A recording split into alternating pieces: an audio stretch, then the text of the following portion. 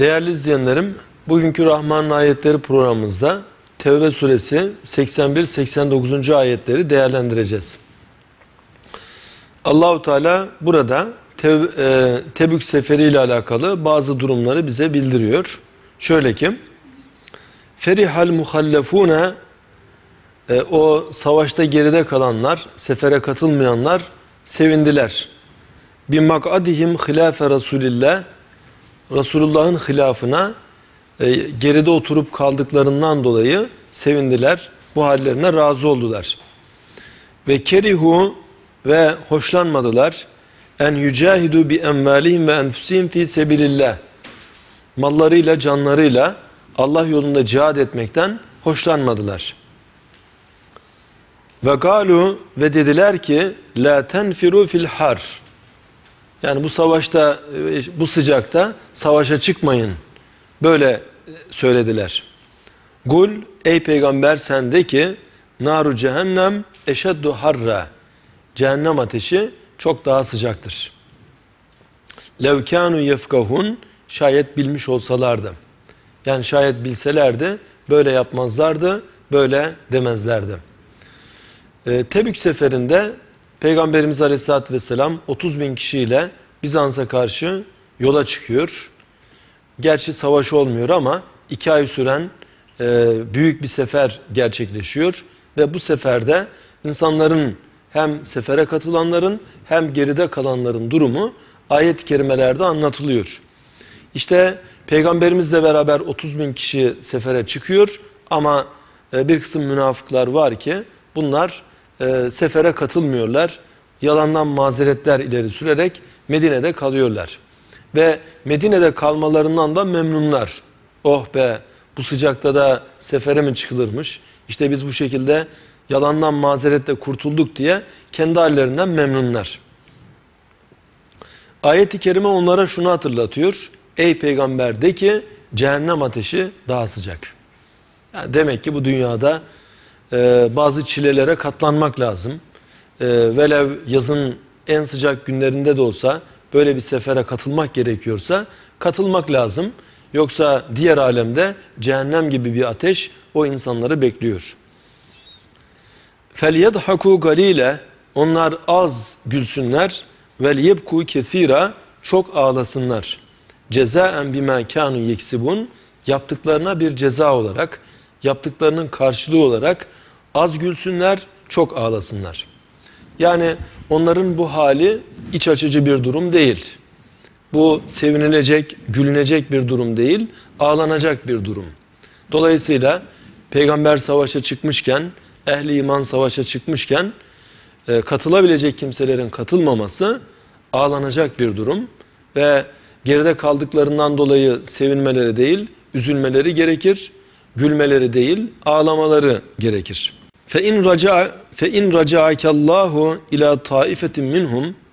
Eğer onlardan bir taifeye Allah seni geri döndürecek olursa festezenuke lil huruc onlar bu defa seninle beraber savaşa çıkmaya izin isterlerse fagul onlara şöyle de len tahrucu ma'iye ebede.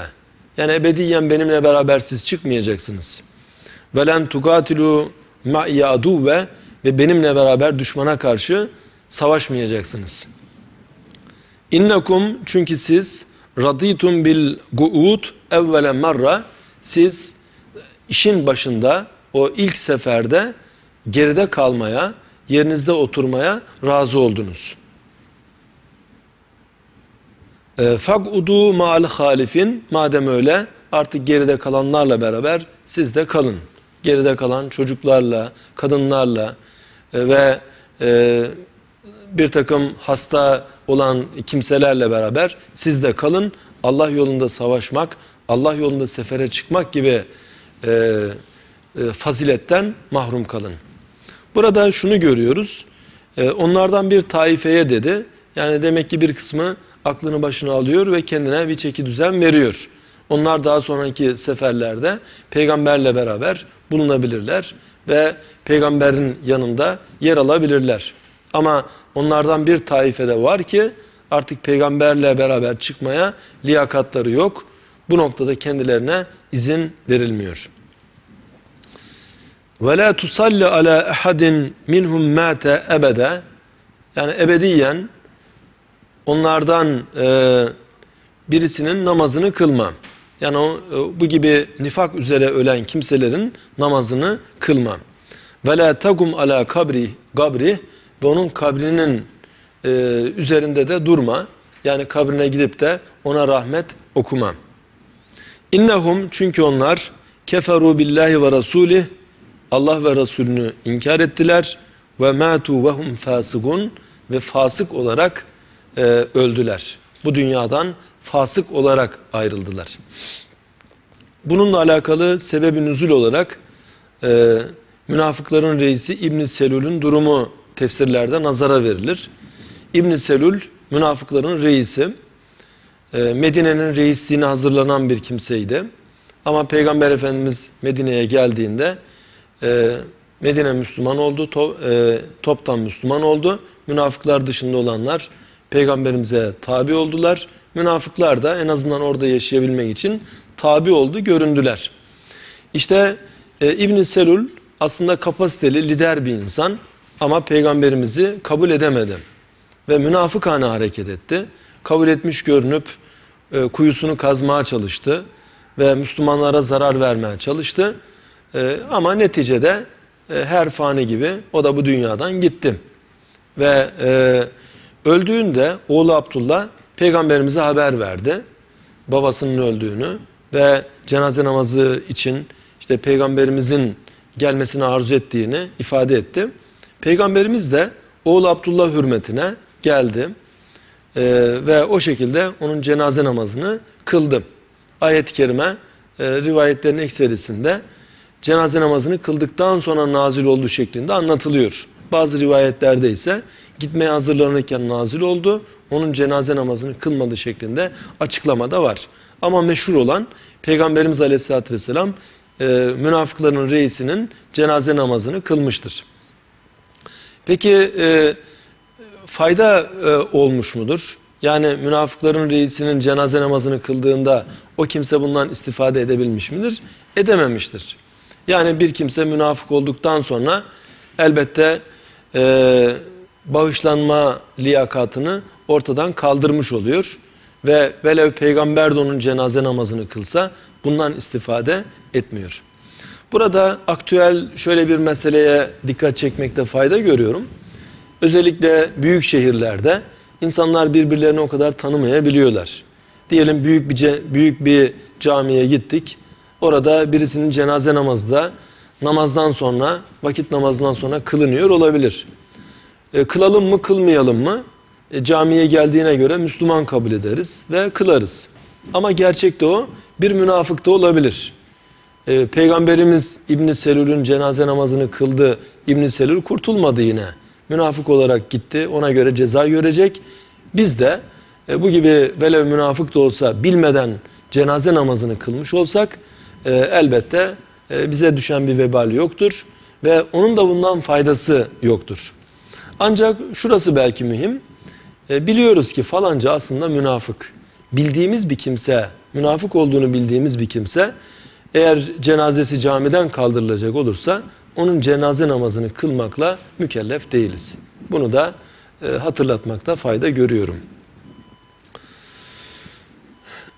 İnneme Evet ayetin devamı ve la tu'cibke emmaluhum ve evladuhum onların malları, evladı seni imrendirmesin. Yani münafıkların geniş imkanları da olabilir. Maddi imkanları olur. Etraflarında pek çok kimseler olur. Onların bu hali seni imrendirmesin. İnnemâ yuridullah en yuazzibehum biha fid dünya. Allah bunlarla, bu mal gibi, evlat gibi şeylerle dünyada onları azaplandırmak istiyor.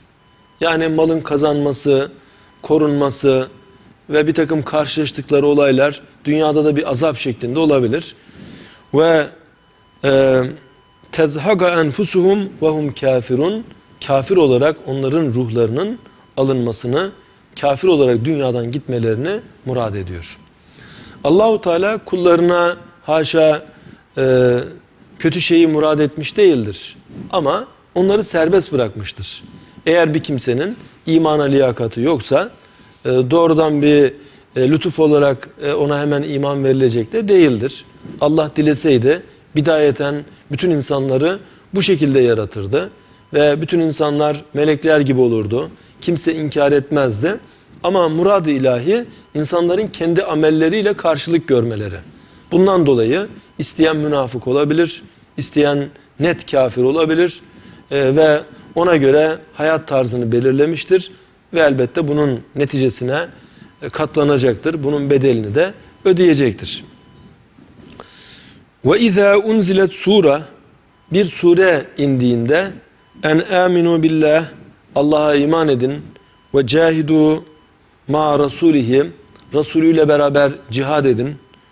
E, bu şekilde sure indiğinde İstezeneke ulut tavli minhum onlardan geniş imkan sahibi olanlar, zengin durumda olanlar senden izin isterler. Ve galu ve derler ki e, zerna bizi bırak nekun mal gaidin geride oturanlarla beraber olalım biz de geride kalalım böyle derler. Burada tabi zenginliğin e, çetin bir imtihanına dikkat çekiliyor. Bir kısım insanlar var ki zora gelemezler. Geniş imkanları vardır, maddi imkanları vardır. Savaş gibi bir durum olduğunda e, işte e, mesela bu Tebük seferi münasebetiyle peygamberimize onu söylemişler. Demişler ki istediğin kadar mal yardımı yapalım ama biz sefere gelme, gelmeyelim bizi mazur gör. Halbuki Allah yolunda malını verebilmek evet bu güzel ama Allah yolunda savaşa katılabilmek o da yeri geldiğinde gerekiyor. Radu ve bunlar razı oldular. Bi en yekunu mal havalif geride kalan kadınlarla beraber olmaya razı oldular ve tubi ala gulubihim ve onların kalplerine e, mühür vuruldu. Kalpleri mühürlendi. Fehum la yefkahun artık onlar bir şey anlamazlar. Onlar bir şey anlamaz hale gelmişlerdir. Yani e, Allah yolunda cihada çıkabilmek varken ve kendilerinde buna durumları müsaitken e, buna iştirak etmemek çok büyük bir vebal.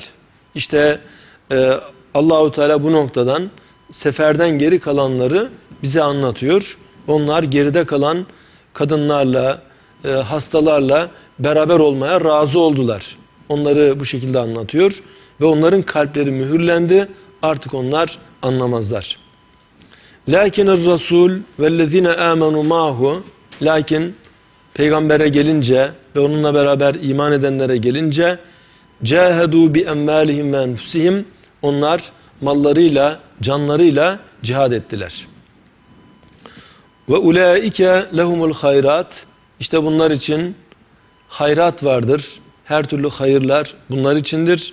Ve ulaike humul muflihun ve e, felaha eren, kurtuluşa eren de işte bunlardır.